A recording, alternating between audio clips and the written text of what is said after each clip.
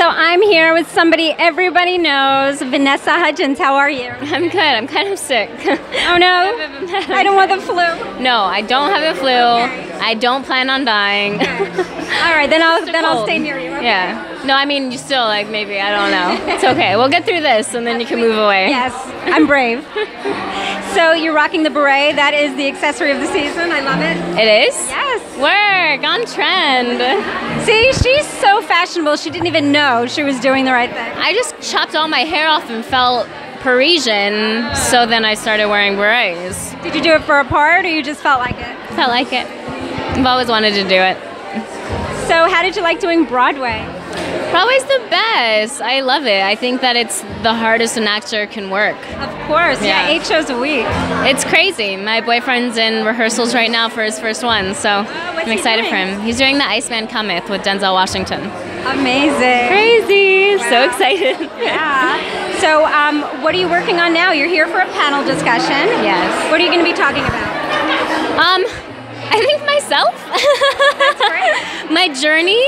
Um, you know, I've been doing this for a really long time. A really, really long time. Over two decades, which is crazy. I know because you look about 20. I am in my 20s, last year of my 20s. All right. That's a whole different story.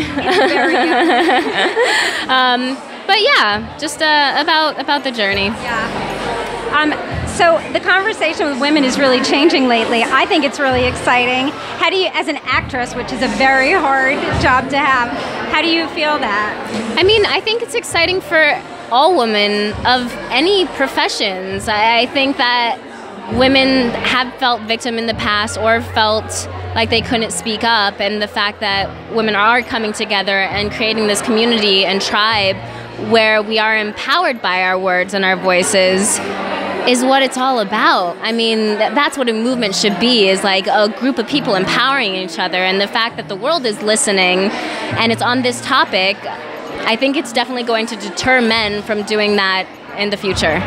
Well, I mean, obviously we all hope so, but yes, of course. time. I mean, it, it's to the point where like I think people are like really taking note of what's going on and no one no stone is going unturned i mean there are so many cases of people out there where there's accusations and it's it's a it's a crazy time you know but crazy good for yeah us, finally. i know because we're the front runners Right. and like we have a voice And so much of history it's been silenced and Right. i mean it's an exciting time there's been several moments in history where women have really been the front runners Yeah. and we're in that time once again Yeah, it's great. Um, do you do you feel less pressure um, in terms of body image or anything because of that? Do you think that that is starting to shift also? I mean, I think that we're in a moment where women want to support each other rather than bring each other down. Which is the best thing. Yeah, exactly. And I think that the entire world is realizing that we come in so many different shapes and sizes, Thank God, right. um, and that everyone's embracing that. It's great. Yeah, you're right. I mean, it's a really important time and it's very special. Yeah. Well, thank you so much. I have one more quick question. Mm-hmm. Was it the most fun in the world to be on RuPaul's Drag Race? Yes, of course. When I first moved to New York, for like for the first time years ago, I didn't know anyone out here, and I RuPaul was like my best friend.